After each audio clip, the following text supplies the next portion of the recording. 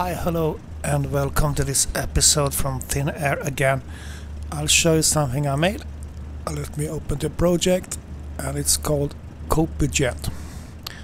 What I did was that I tried to steal as much as possible from Asobo. Sorry, I mean to copy from Asobo. Uh, and to get uh, one of the planes that we have in the simulator so that we can start editing it here in, in the editor and I actually managed to do that.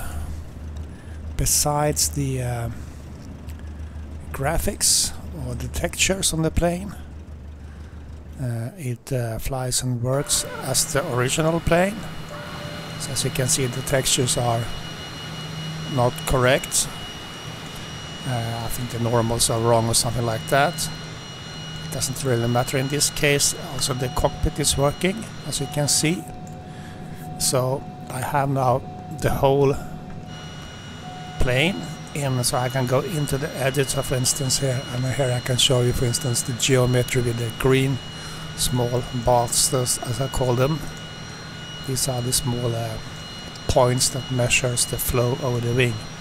It doesn't really work like that. Uh, the uh, simulator doesn't care at all about any geometry uh, any 3D geometry that you put in here uh, as I told you, it can be a flying dog or flying cat, it doesn't really matter. The only that matters is the shape of these, where these screens dot are, basically. I think that's the way it determines how it flies. if someone else can't say anything against that. So I have this plane here, it's fully functional with the flaps and so on. All rudders are working and so on, all control surfaces, even the uh, actual uh, landing gear in this model is working. So I hoped that uh, this would be a good start uh, to play with, especially if you go into sorry, especially if you go into Blender, because I also imported this plane into Blender, which you can see here,